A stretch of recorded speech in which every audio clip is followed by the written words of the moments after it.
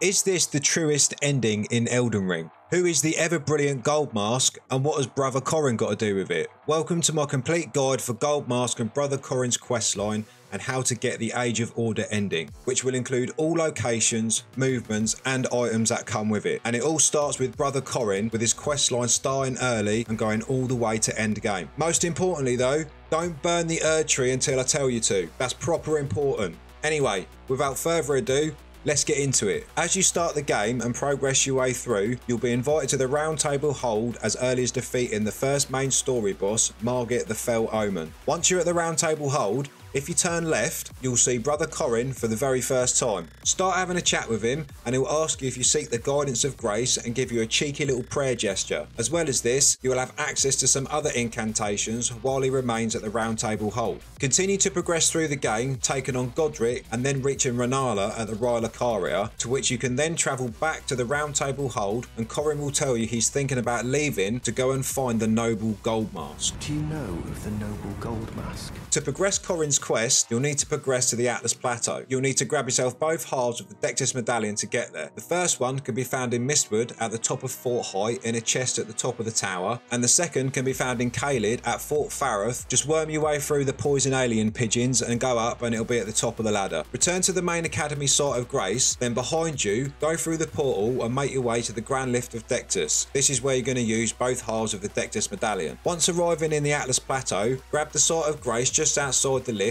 and then head back to the roundtable hold and speak to Corhyn once more. This time he's going to tell you about his intentions of looking for Gold Mask and now actually leaving the roundtable hold. As I mentioned, I'm off in search of the noble gold mask. Having now moved away from the round table, Corhyn can now be found near the map fragment by the Altus Highway Junction site of Grace. He is having a little bit of a meltdown trying to find Gold Mask, bless him, and he asks if you'll give him a helping hand, which we will happily oblige. From Corhyn's current position, follow the road east and stay on it until you reach the end of a broken bridge. Grab yourself the forest spanning Green Bridge site of Grace for later on and pass through the portal to the other side.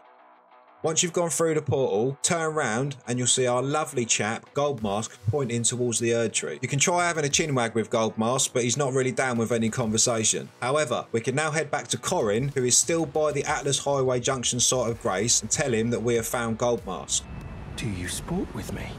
From your description, it can be no other than the Gold Mask himself. Exhaust Corhyn's dialogue, and he can now be found at Gold Mask location at the end of the bridge. Speak with Corhyn and select About Noble Gold Mask. He's going to be absolutely delighted by finding Gold Mask and tell you of his discoveries and of Gold Mask's wisdom. While I frantically attempt to record his wisdom. To continue Goldmask and Corhyn's quest, you need to make your way to Leyndell Royal Capital. After grabbing yourself two great runes from Godrick and Rennala, or even Radahn if that's your fight preference, you're going to need to take out the Nobend Draconic Tree Sentinel who is guarding the gate.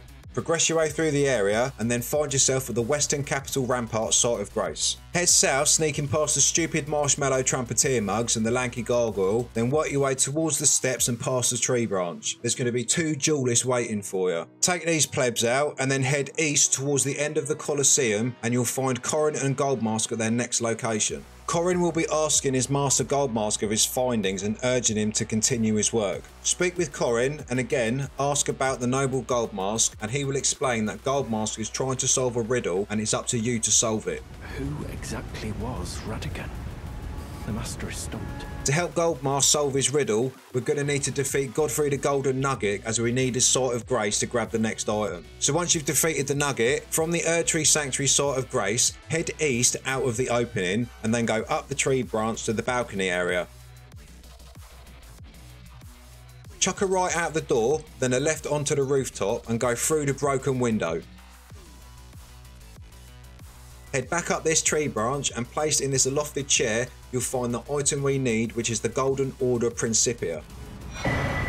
Head back to Corhyn and Goldmask, who are still at the end of the Colosseum. Then you want to give Corhyn the Principia prayer book to learn, and he's going to be asking who is Radagon and loads of other questions. After exhausting Corhyn's dialogue, you'll need to purchase the Law of Regression incantation, as this is needed to reveal the secret and the next part of the questline. As you can see, there is a requirement of 37 intelligence. If you're not running an intelligence build, there's a couple of options that we can do. The first thing you can do is grab some items that are going to give you the required stats for intelligence. These these are going to be Godrick's Great Rune, the Twin Sage Glintstone Crown, the Stargazer Heirloom, Marika's Soreseal, the Grafted Blade Greatsword, and the Intelligence-knot Crystal Tear. However, if you're on a lazy run like I was, you can grab yourself a couple of easy larval tears. You can find one here from Agheel Lake South Site of Grace. Simply target this minion on the hill and it will turn into a relatively easy rune bear for a larval tear. The second one you can grab from the cemetery near the Caelid Highway South Site of Grace. Just take out the nobleman by the tombs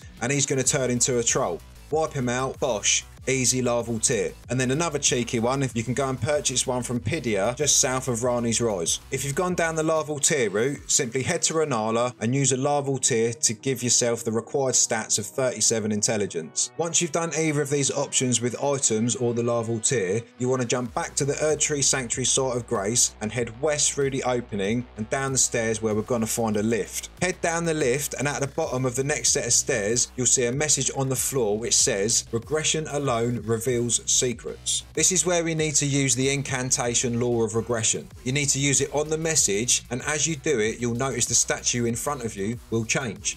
Simply walk forward to the next message sign to reveal the secret that Radagon is Marika. Now again, depending which option you pick to give you the 37 intelligence required, either just chuck your items back in the inventory, or in my case, go back to Rennala and use that other larval tear to switch your stats back to what they were before. When you've done this, we can head back to Goldmask and Corhyn, who are still at the Colosseum at this point, and head straight up to Goldmask, who has still got nothing to say to us. But we can tell him what he has been puzzled by, which is that Radagon is Marika, and you're going to get yourself the Golden Order Totality T-pose, which is absolutely sick. Go and speak to Corhyn again, who is confused by Goldmask's findings, but continues his duty as his scribe, and then absolutely rinse the T-pose even more.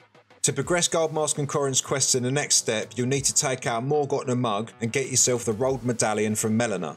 Then you're going to want to make your way to the Grand Lift of Rold and into the mountaintops of the Giants. But remember, do not burn the Erdtree until I say so, because it will mess up both quest lines and you won't be able to finish it. Once you've had a bit of a jolly through this next area, you want to find yourself at the Freezing Lake Site of Grace. I'm going to show you the safest and easiest route to get to Corhyn and Goldmask's next location on the map. Simply head up this little mound here to the first bridge and you want to cross over it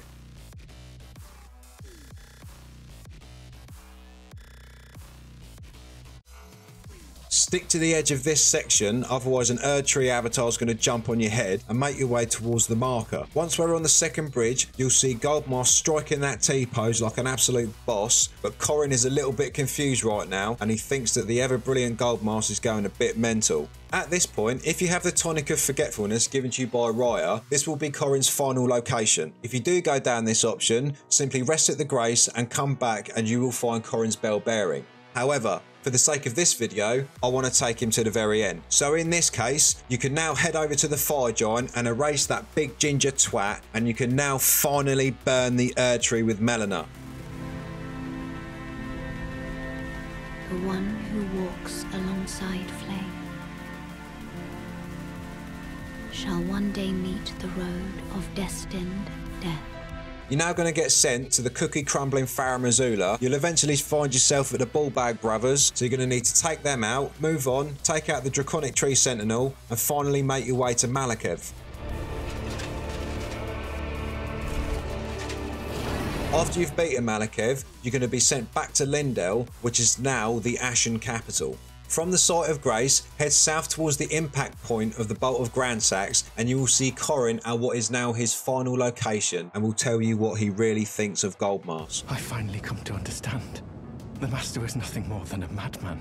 After exhausting his dialogue for the final time, return to the site of Grace to reset the area, and then come back to Corhyn's last location at the Bolt of Gransax and waiting for you will be all of his items, which include his flail, robe, and bell bearing. Now, if you turn to face southwest and continue straight towards the stairs and over the fallen tree trunk, swing a left up the next set of stairs and follow the grassy verge, and you will come to Goldmask, who is either chilling out or has just had enough of not being able to talk. But as you see in front of you will be the Mending Rune of Perfect Order. I'm not gonna lie, I was really gutted when I found him in this state, so I just had to chill with him a little bit and take it all in. Once you've embraced these final moments with the ever brilliant Gold Mask, head back to the Leyndell Ashen capital site of Grace again and return to Goldmask's last location where you grab the Perfect Order rune, which is now going to allow you to unlock what I believe is the truest ending of Elden Ring. And you'll also see that you can pick up his armor set, which is Gold Mask Rags, the gold bracelets, and my personal favourite,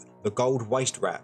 But Matt, where's the sick gold mask hat? Fear not, my tarnished gangsters, that is somewhere else, and I'm going to take you there now. Pull up the map, and you're going to want to head to this marker in the Altus Plateau. Head to the Road of Iniquity side path site of Grace, which is fairly close to the Windmill Village. You want to head south from the Grace and towards these rocks. Take a little left jump onto the bridge and then swing a right. And hanging there on the edge, you'll have yourself the Radiant Gold Mask hat.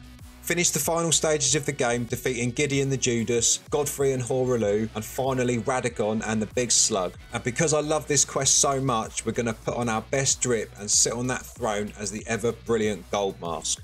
Simply use the Mending Rune of Order, dropped for us by Gold Mask, and you will have the Age of Order ending. Whilst I let this ending play out, I just want to say if you made it this far and you enjoyed or found this video helpful, maybe consider a like, a cheeky sub, and chucking that bell on for any upcoming videos. Cheers everyone, see you later.